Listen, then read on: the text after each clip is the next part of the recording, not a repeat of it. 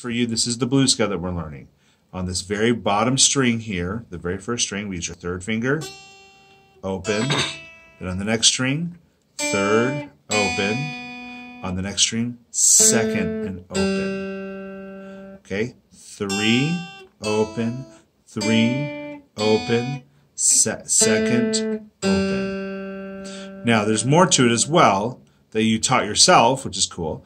Three, open, three, open, second, open. Then we have second, open, second, or second, open, second, open, third, open. Learn as much of that as you can, okay? Did you stop it? No.